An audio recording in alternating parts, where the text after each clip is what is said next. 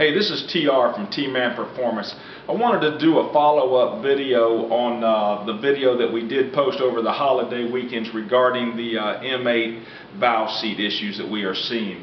So we had a lot of good comments, a lot of off-the-wall comments, and then uh, one particular comment that I took a little bit of offense to that I will address at the end of this uh, video. But so what we want to do is I want to go through this whole step to let you guys know what we did before we basically even posted that to make sure that we had had all of our ducks in a row. So what we did is we were noticing this on our big bore kits when we were putting the heads back on. We make it a standard practice when the heads go back on with new rings to put the heads on, torque them, and leak the motor down to make sure that we have no issues. That's when we were seeing the 25 to 28% leak down. The one thing that I want to make perfectly clear, this was not going past the rings, you know, and that, that was one of the bigger comments on um, this was coming past the valve and the valve seats, okay? So what we did, uh, there's very few people in the industry that I, you know, will bounce ideas off of. Uh, a good friend of mine, Greg Dahl from GMS Racing, you know, I spoke to him and I said, hey, how can I basically figure out a way to basically uh, leak these things down and make this so people will truly see that this is a, not us making this up. So he come up with the idea to make a fixture so that we could pressurize the port from the outside, so which I thought was a very good idea. So I'm going to kind of show you what we do here. So first thing I want you guys to understand that we have lapped these valves into the valve seats, the valves to the valve seats, and we've put a heavier spring on the back side. That way, so when you see this, you'll understand that this is not it leaking past the valve seat. Okay? So what we did, I'm going to put a little bit of liquid here on it here, just like you see right here.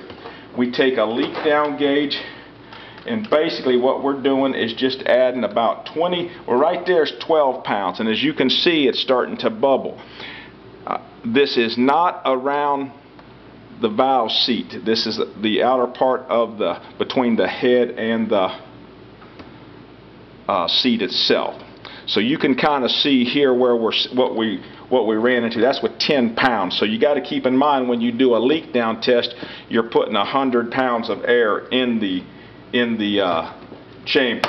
So anyway, so after we determined that was the issue, what we did is we started to weld the seats out of the heads. That's how we get the, our heads out. We'll run a little bead around them and knock them out. And what we have determined that this whole issue that we're seeing is not a machining issue. This issue is, is coming when the seats are being installed in the head. And as you can see right here, this head is, is one of the worst.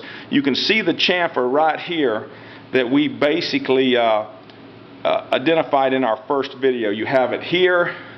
You can barely see it right in here on this short corner. And then on this head, it's very obvious right here, okay?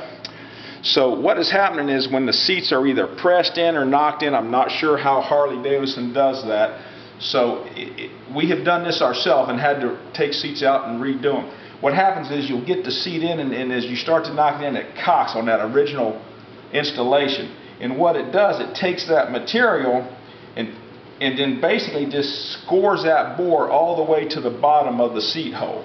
And as you can see right here, uh, it's, it will be hard to see with the camera. We will follow up with pictures uh, on our after this video you can see right here that there is material built up underneath that seat area.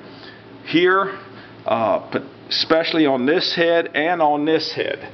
So this head here is one of the four sets that we have on the agenda for next week and all four seat holes in it were perfect. So we will show you the difference. But what I and then the other thing that we did, so at that time we come in and this is the this is how we measure our press fit on our seats. We don't do this with a yardstick or anything like that. We put the the uh, mic inside micrometer in here and we mic this hole this way. These areas here were where the seat was not damaged. And then we measured it, you know, the 3 and a 9 o'clock position where it had the scoring clear to the bottom. What we've seen on an average is about two and a half to three thousandths of variation in the OD of that seat. And then that material ends up on the bottom. That is what cocks the seat and allows for it to be leaked underneath. So what that, what that means is the seat is not have a complete press all the way around it. So that's where we're seeing this problem. So I wanted to kind of let you guys know the effort that we did go through before we ever posted that. This was not just one set of heads. This is the four that we are running off three this week plus the twin cam heads that we do. As a cylinder head company, we do anywhere from six to seven sets of heads a week uh, and ship them all over the country. So I just wanted to kind of let you guys know what we are running into. Know that this is no way, shape, or form of us bad-mouthing the motor company, our dealers, or the consumer. In finishing this up, I just wanted to say that uh, you know, in all new models, there is problems. I'm sure that Harley Davidson will address this. So please don't think of this as the comments about the motors being junk. It's all, it, that's all out of line. Let's just stay focused and fix this problem. What we've done here is we feel that we have given you the knowledge of the problem. We have showed you how to check it. We have offered you a fix. That's all that I can do as a cylinder head company.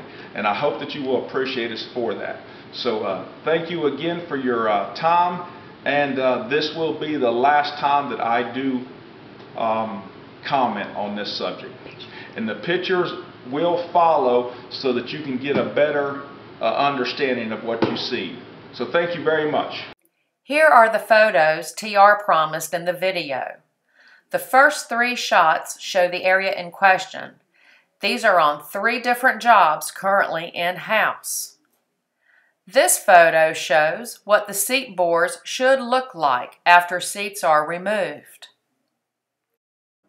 Here are the tools needed to perform a proper leak down test. Shown is a snap-on leak down gauge. However, there are other brands you can use and pick up at your local automotive parts store. Make sure your gauge comes with a hose with a 10 millimeter end to screw into the M8 head.